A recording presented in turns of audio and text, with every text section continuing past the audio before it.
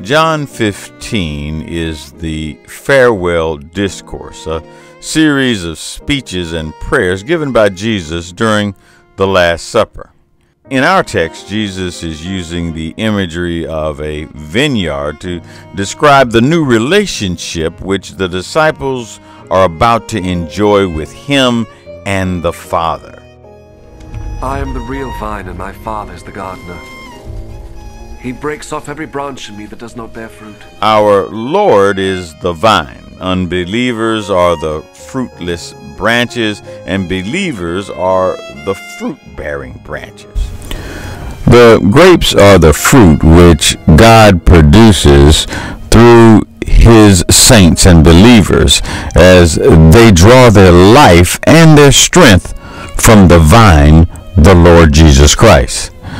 God the Father is the gardener who tends the vine, removing and destroying unfruitful branches, purifying the living branch. Jesus speaks of himself as the true vine. Now, believers, specifically the disciples, were the branches who were a part of the vine. And like us, the disciples must stay connected to the true vine. They must remain connected for their strength.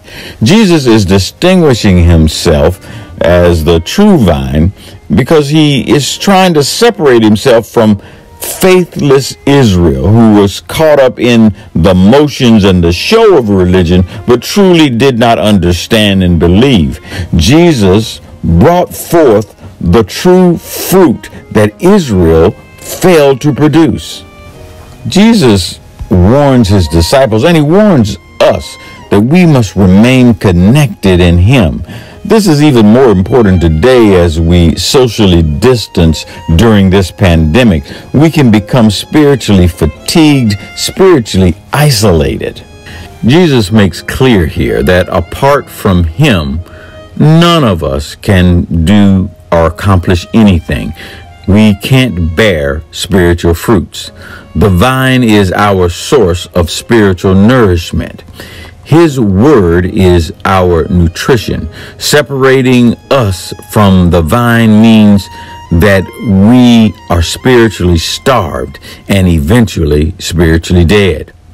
Connected, however, we are continuously fed God's word and we are bearing fruit to the glory of God. Jesus now explains what he has just said about abiding in him. First, when we abide in Christ, we are abiding in his love. John's account here demonstrates that Jesus is now speaking of abiding in him as abiding in his love.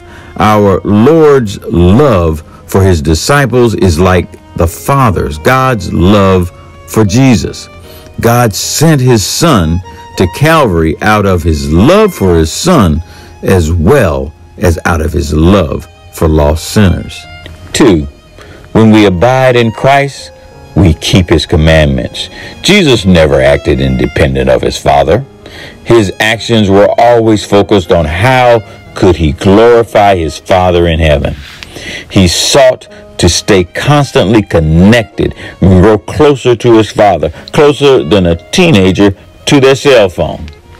What he is saying to us is we must abide in him and abide in his love, which means that we will keep his commandments. Three, when we abide in Christ, we love our brother.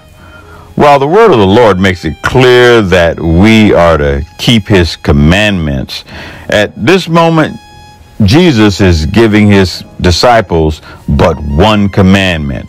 They must love one another just as he has loved them. In some ways, this one commandment encompasses all the other commandments, in that if one loves the other person, he will keep all those other commandments. Four, when we abide in Christ, we have great joy. Now, joy is a prominent theme in this lesson, and this is a time when you don't expect joy to be a preeminent thought. Remember, Jesus had just told his disciples some distressing things. Their hearts were heavy. If the disciples would abide in him, however, their sorrows would be dispelled and replaced with joy. Not only would the joy of the Lord be in them, but their joy would be full. Their hearts would overflow with joy. Finally, when we abide in Christ, we are his friend. Jesus tells his disciples that they are no longer slaves, but rather friends. Jesus speaks of a change which is about to take place in his relationship with his disciples.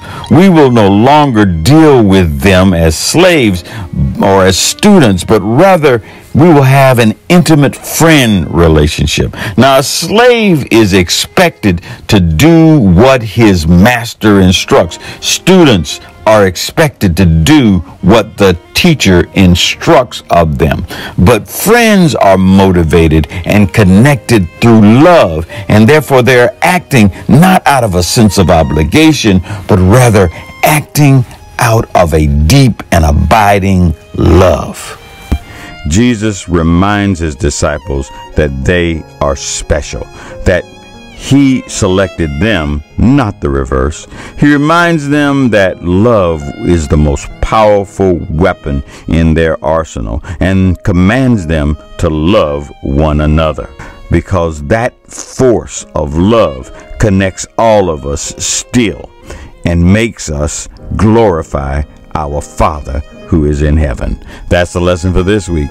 Have a great week. Bye.